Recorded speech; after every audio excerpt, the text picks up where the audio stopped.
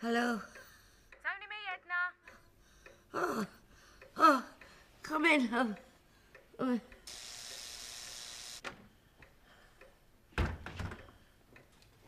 Ooh, you've got it nice and warm in here. It's freezing outside. I thought you'd forgotten me. No, I'd just like to save the best till last. And I'm on your way home. You don't forget anything, do you? Oh, let me.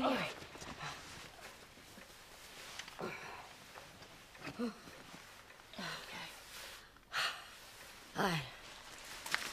So, how have you been today? Oh. Fair to middling.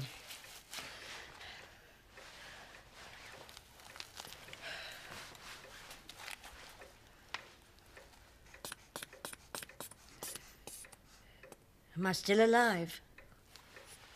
Your pressure's up a little, but that's to be expected. So I'm not for the scrap heap yet, then? Oh, you've got plenty of miles left in you yet.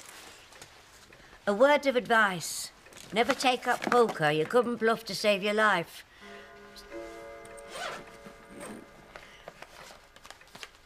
I know you've got your job to do, but could I ask a little favour? Depends what it is. Could we forget the rest of the prodding and the pushing just for tonight? Maybe you, you could give me a good wash down instead. A once over with a damp cloth would do. Don't see why not. You'll, you'll find everything you need in the kitchen. Okay. I had the old milk get things ready, just in case.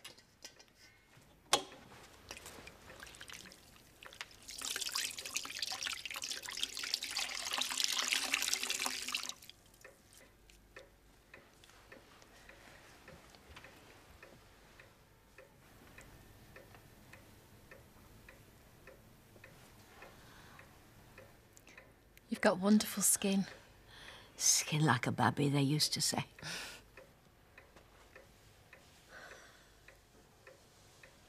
It's like Sunday night bath night all over again. Crackle of logs on the fire. Kettle starting to whistle on the hob. Dad's sleeping off his Sunday dinner. Mum try not to get soap in my eyes. And then go into bed. Drifting off to sleep. Into Never Never Land. Oh.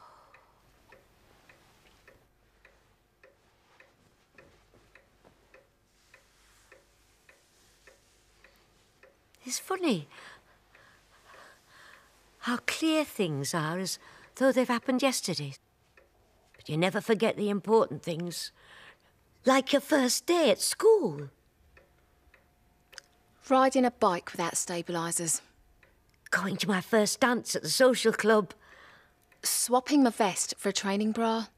Collecting my first week's wages. Sneaking into a pub underage. My first Valentine's card. Oh, the first time a boy asked me out. My first real kiss. Harry Jackson. Sunday school picnic. Billy Clark, Year 8 disco. Bad spots and a bum fluff moustache. Bad spots and a mullet. oh, he wouldn't even spit his bubblegum out first. Oh. oh, it was strawberry flavour. Oh, sorry, I better get that.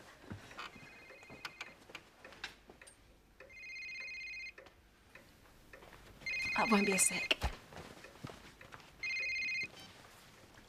What have I told you about calling me at work? Yes, I got your messages.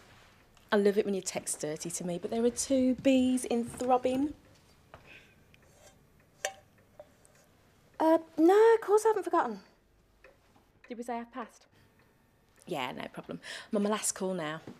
I'll see you there. Bye.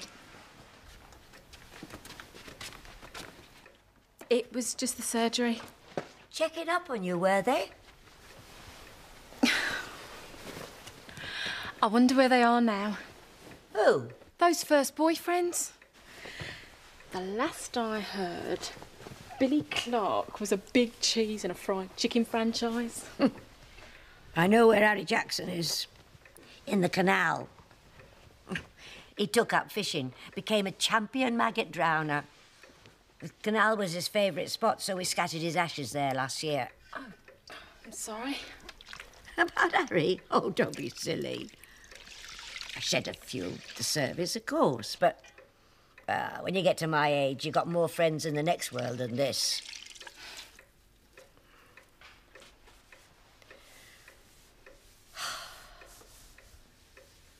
mm. Thank you.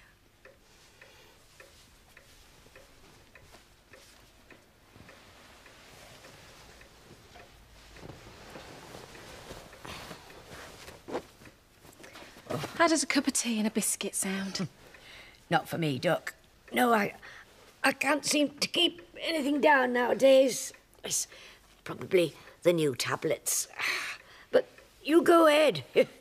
There's some chocolate fingers in the biscuit barrel, and I know how you like those. Oh, oh. thank you. Thank you.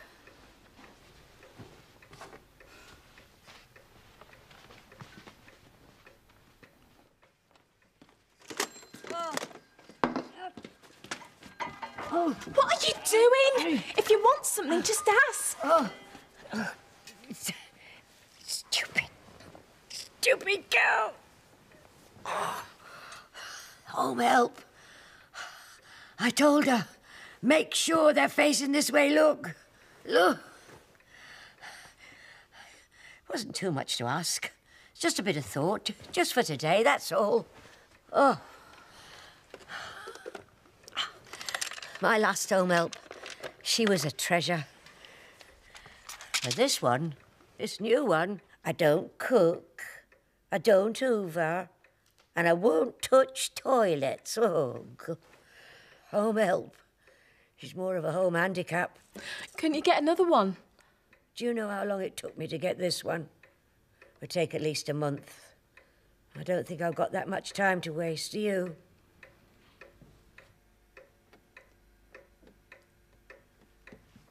Is this you? Where? You'll have to bring it a bit closer, don't...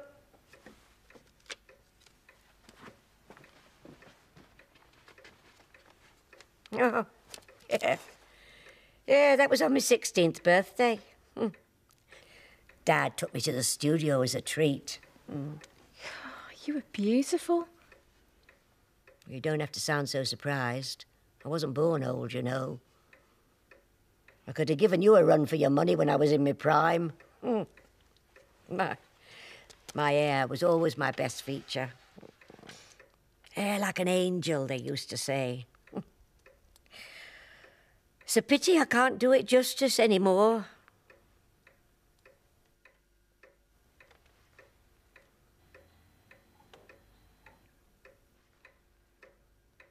I have got something on for tonight, but there's still enough time for me to get home and get changed.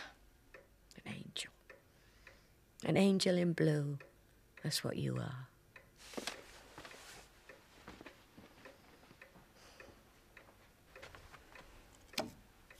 Oh, and is my makeup there as well? Yes. What a coincidence.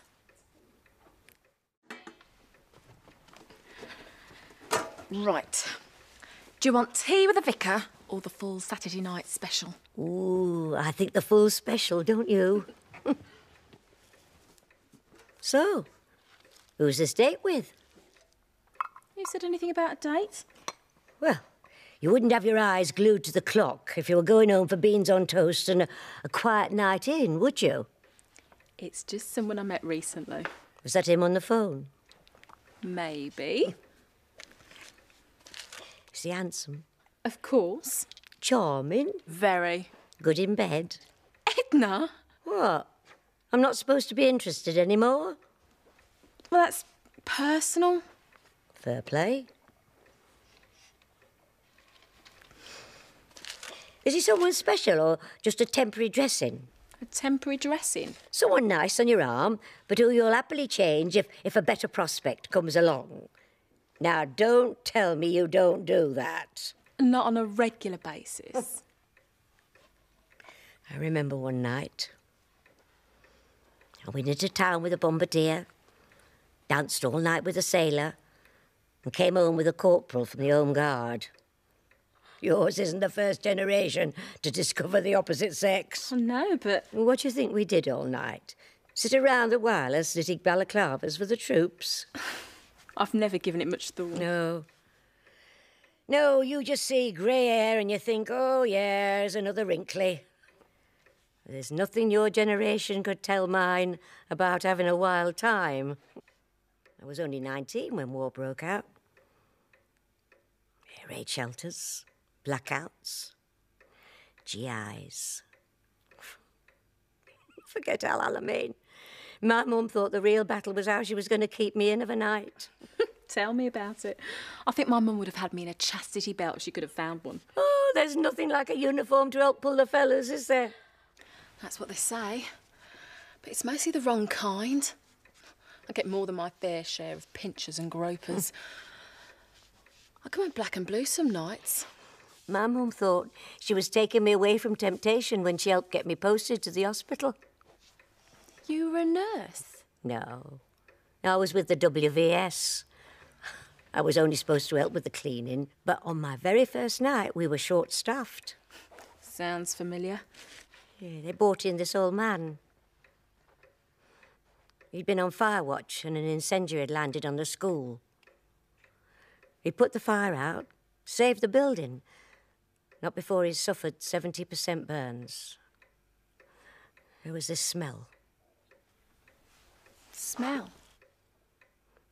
He was still cooking inside. The doctors said, Don't worry, you'll get used to it. I didn't want to. It wasn't all bad. Made a lot of friends, and it helped me grow up. Maybe decide not to go back to being Mummy's little girl. you see, I'd met someone. Oh, yeah. Was he handsome? Of course. Charming? Very. and he was good in bed. Oh. Johnny was quiet, gentle. He was a bit of a poet. But he never showed me any of his poems.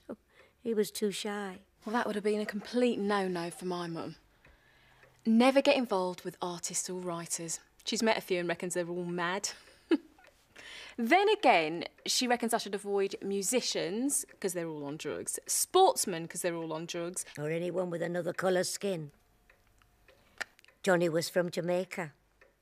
He was a good boy. But None of that mattered to my mum. She stopped you from seeing him? If I'd tried to go against her, Mum would have found another way to ruin it. Now, what about this war paint? Oh, that one.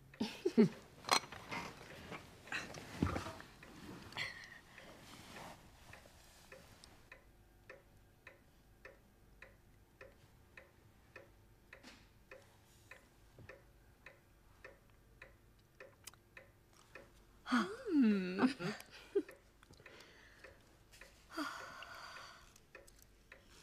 I guess things have a funny way of working out for the best.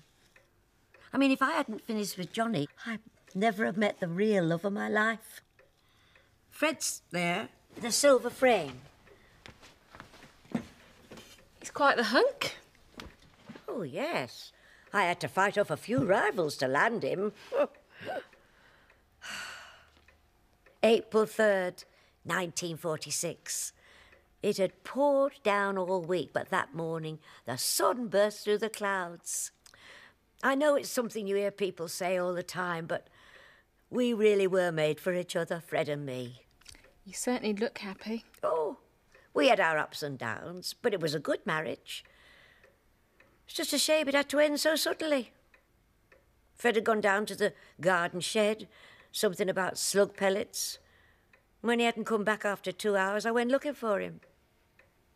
There he was, sitting there in an old deck chair, Just like he was having one of his naps. You must have been lonely since. Oh. Oh, I suppose everything happens for the best. If I'd gone first, Fred would never have managed. He'd have starved within a week.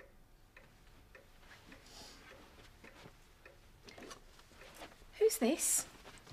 Oh, yeah. That's Michael Anthony. Eight pounds, three ounces, and 12 hours in labour. I didn't know you had a son.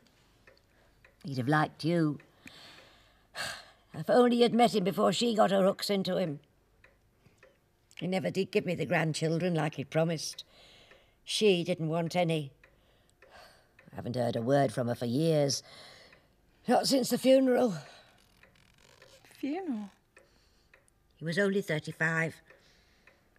He was on the local news. Car was a total wreck. It's no wonder I never recognised it. This policeman was still telling how the driver had to be cut out of the car when the doorbell started ringing. And it was him, the policeman from the telly. And I knew straight away.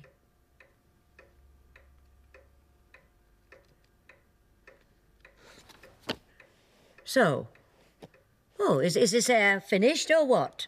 Yeah.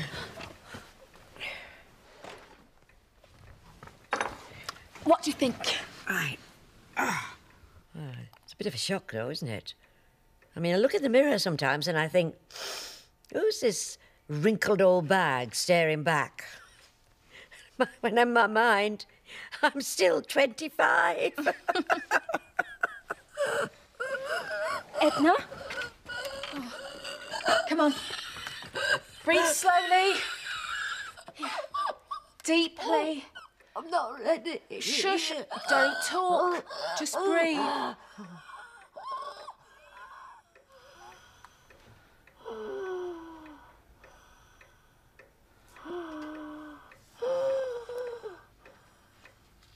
That's it.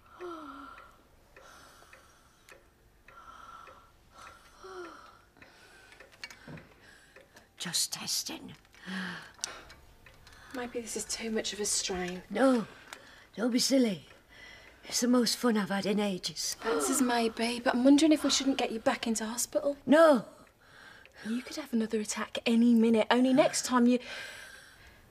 You'd be much better off at St Phil's. all right. All right, I'll go to hospital. But please, not in this tatty old thing. It would only take a minute to change, and then I'll do anything you say. I only want what's best for you. I know. This is lovely. It's the last present Fred ever bought me. It's real silk. It looks new. I've been saving it. Saving it. What's this all about, Edna? What do you mean? This. The washing, the hair, the makeup. Well, everyone needs a bit of a spruce up now and again. What's going on? Edna. I didn't think I could pull the wool over your eyes. You're too good a nurse. I'd hoped you'd understand. Is this what I think it is? I remember the first time I was asked to do it. It's the last service you can do for someone else.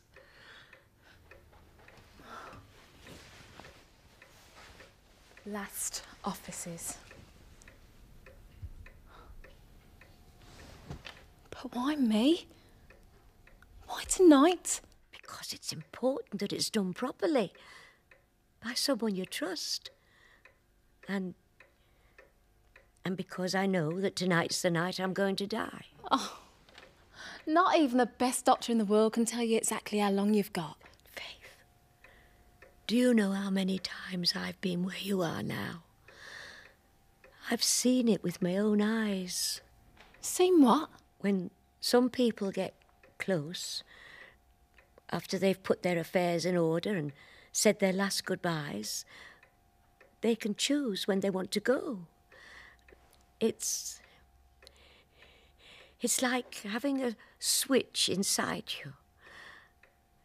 When you're as close, close as I am now, you can choose when to turn the light off. No. I've never carried out last offices.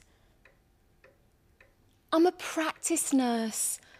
I, could have gone into accident and emergency, theatre nursing, or geriatrics, but I didn't. I deliberately chose ingrown toenails, vaccinations, and changing dressings. I don't do code blues and grieving relatives. I do keep taking the tablets and I'll see you next week. I don't do death. What are you so afraid of? I'm afraid of lying in a bed in a house all alone with with everyone I ever cared about already dead.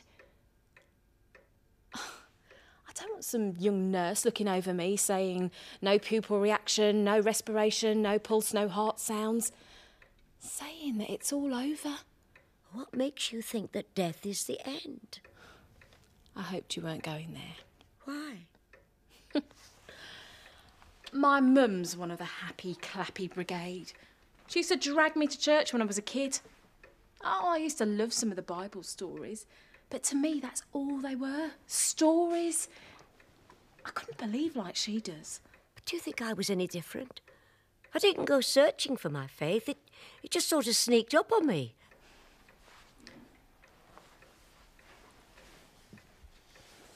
What made you change your mind? My mum. She came into my bedroom one night and sat on my bed. I asked her what she wanted, and she said, I've just come to tell you that everything's all right. You're not to worry. I thought, tar very much for coming in at one o'clock, waking me up and telling me that. And I went back to sleep and didn't think anything of it.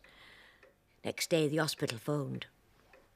Mum had died in the night, just as the clock struck one. Did I really see her?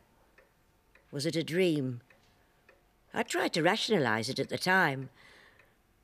Maybe if it had been a one off, I could have, I could have dismissed it more easily, but, but the older I got, the more I was with people who passed over, the more I came to realize that death wasn't an end. I'd love to believe that this isn't the only chance we're going to get. But heaven, nirvana, never, neverland, whatever you call it, it's just a fantasy. Something people comfort themselves with when they know they're going to die. Well, it looks like I'll be the first one of us to find out which one is right. It's just a shame I, I won't be able to let you know which way it went. And in the meantime, there's no point in waiting till I die. There's no one left to view my body. And if I'm right, I want to be ready. I want to look my best when Fred and Michael come to collect me. And if I'm wrong, well, I could knock them for six on the geriatrics ward. Okay.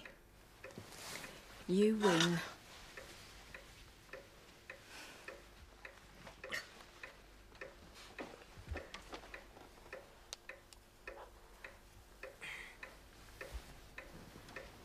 You look lovely. Oh. Okay. I'm ready now. I'll feel much happier knowing that you're in good hands. So will I. Yes, this is uh, Nurse Walker from Riverside Surgery. I need an ambulance to 15 Greystone Terrace, Leatherbridge. No, it's not an emergency. Okay, thanks. There'll be half an hour. While we're waiting, shall we have a bit of music? The tape's all set up. But this is the last favour, okay? The last one.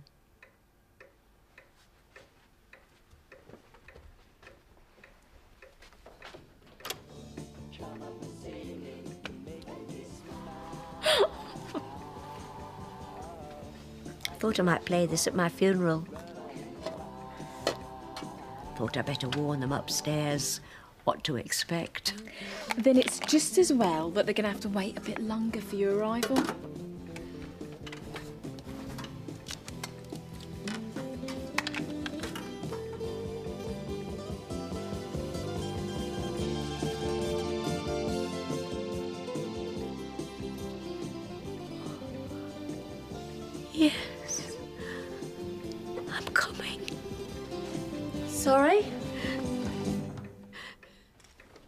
No.